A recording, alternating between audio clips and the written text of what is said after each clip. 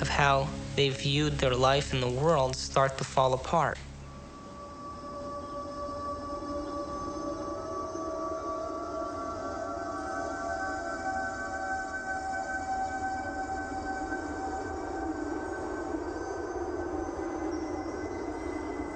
That's why very few people make this journey, because it's deeply unsettling. All of the molds that we have lived by have to be broken, and we have to liberate ourselves in this way.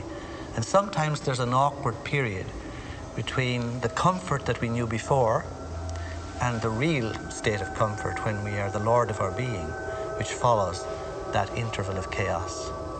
Most people, when they get into the chaos, give up hope and go back to the old false securities.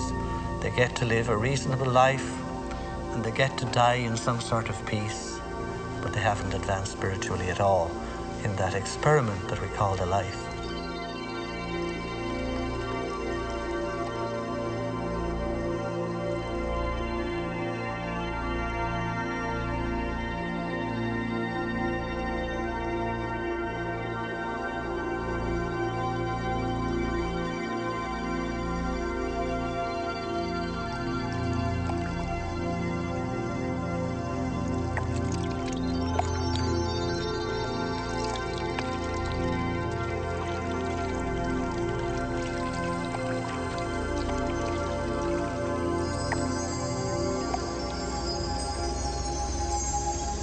We're in completely new territory in our brain. And because we're in completely new territory, we're rewiring the brain, literally reconnecting to a new concept. Then ultimately, it changes us from the inside out. If I change my mind, will I change my choices? If I change my choices, will my life change? Why can't I change? What am I addicted to? What will I lose that I'm chemically attached to? And what person place, thing, time, or event that I'm chemically attached to that I don't want to lose because I may have to experience the chemical withdrawal from that. Hence the human drama.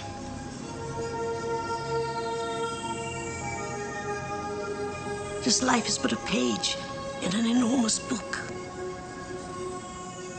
in which we will always be who we are, but always with the inherent needling of ambitious pursuit, a pursuit that takes us from the boring tedium of self reflection, of self hate, and to self creation of new dreams. And we are ambitious gods.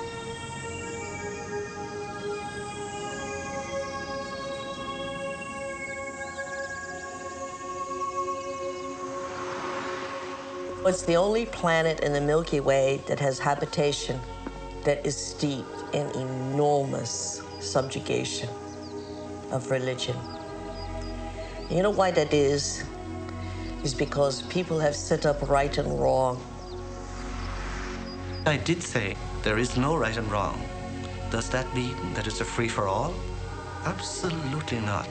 I mean, the problem that I have with right and wrong in those categories is not that I want a free for all, but that right and wrong doesn't go nearly far enough.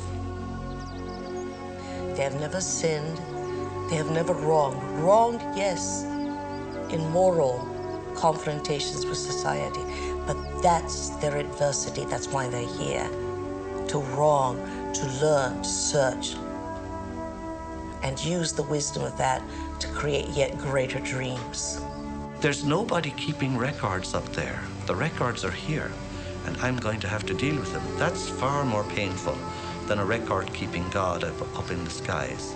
So anyone who's setting out on the path of enlightenment will be absolutely impeccable in everything that they do. Is it because of fear of damnation? No. Or of the punishment of God, or because I have sinned and haven't got forgiveness? No, no, no. I mean, these are all excuses that keeps us away from the real problem. The really uh, enlightened person will see every action has a reaction with which I must deal. And if I'm wise, I'm not going to do stuff that will cause me to have to face it and resolve it and balance it in my soul later. That's the real criterion. that God or the, the fundamental level of reality, depending on what people describe, it really, I mean, theoretically, it should be everywhere. Uh, it's something, you know, exactly how it would manifest or, or how God would manifest in the world uh, is a more complicated issue. But uh, I think that, that certainly from a more traditional religious perspective, pe- people have kind of gotten away from God the, the person. There's been a great shift from God up there or out there or in there, wherever, to the God within. And that's an improvement, but we don't want to get some idea that, that, that God can be within and still be separate, which is what most people think. They think the God within is like some of those alien movies, you know, where some being breaks out from my chest. God is not within in that uh, stupid sense. What it means is uh, that in God we live, move, and have our being, that we ourselves, in fact, are divine. What's the relation between my God self and your God self? There is no relationship because it's only one God self. It's in both of us. All people are divine people. Is it not ironic that all would say that this is the voice of the devil or that this is heresy? If this is heresy, then what is promised to everyone is an imbuement with God that is inseparable.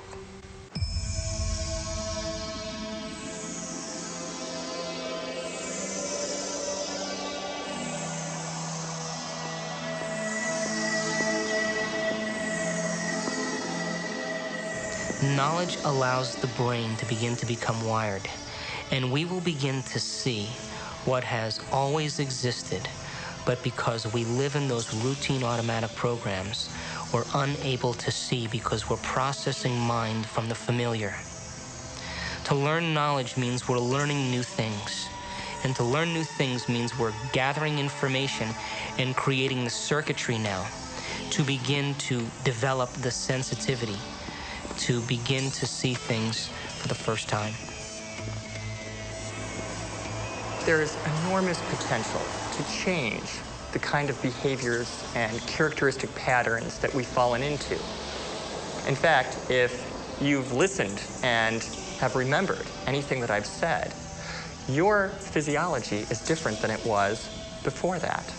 That is something that Eric Kandel, the recent winner of the Nobel Prize in Medicine and Science, said very eloquently at a talk. That basically memory has been encoded, your genetic structure has changed, and while we previously would talk about the nervous system as this very rigid thing that didn't have much capacity for change, we now know that on many levels that isn't true.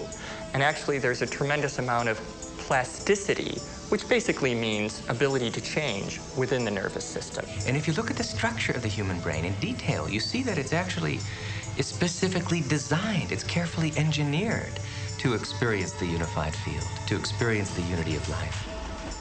We're all connected. I mean, I think the most fundamental thing is we're all connected by an energy field. We swim in a sea of light, basically, which is the zero point field. And I say, first of all, you have to get to you get away from the whole idea of separateness because separateness is the biggest problem of the world now.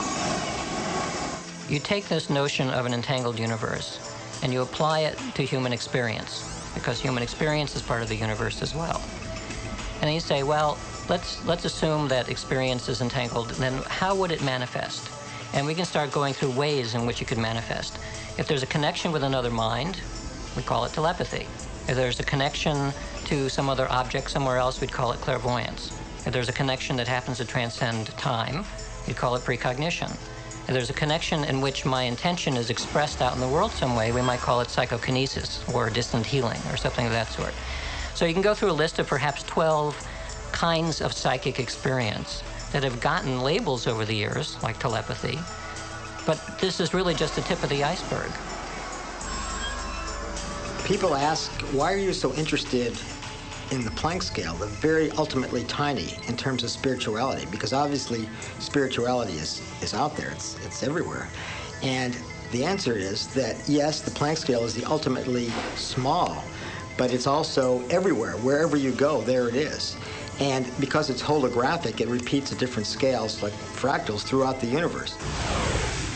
I would say that what quantum physics is to the 20th century, whatever is going to be the new bridging of science and spirituality, that will be to the 21st century. We are all creating the future. We are all creating what is outside of us.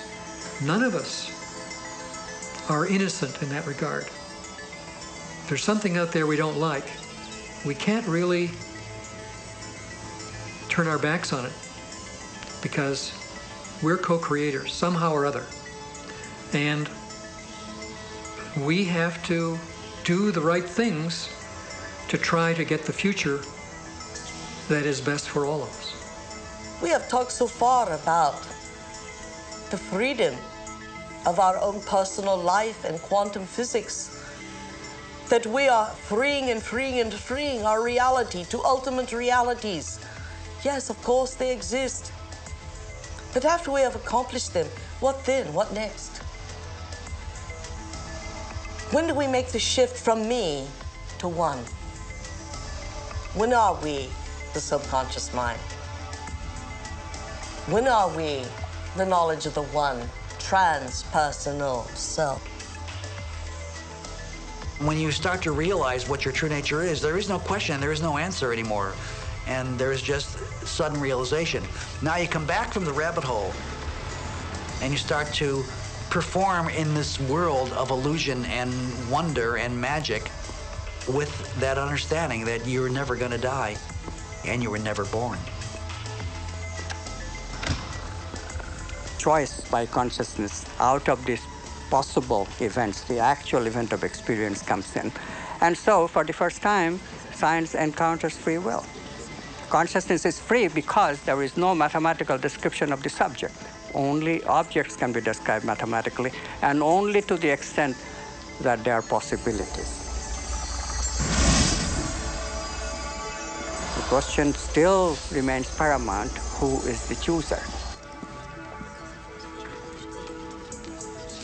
Are all realities existing simultaneously? Is there a possibility that all potentials exist side by side?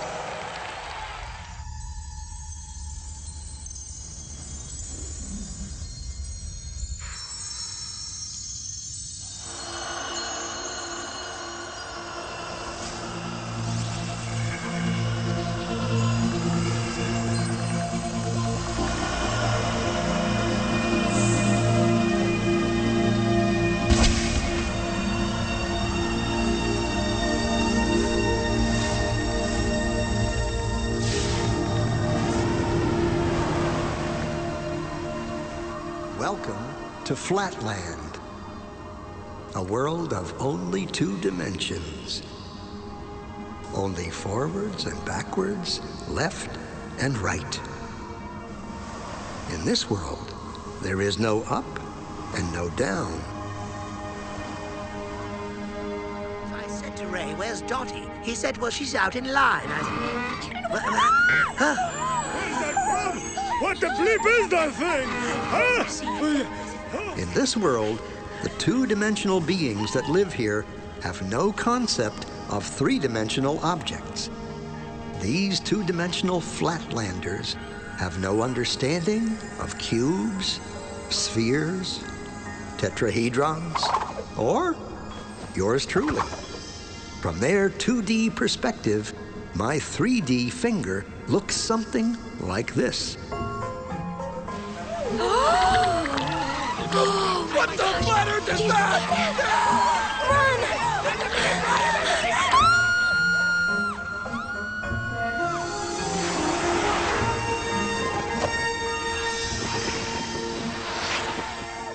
Hello, little circle.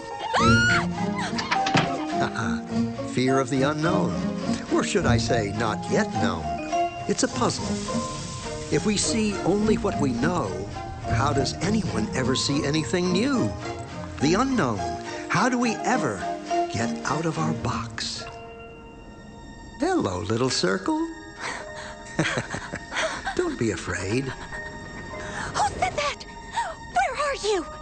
This is always the tricky part to explain. I'm in another dimension, another space. I am above you.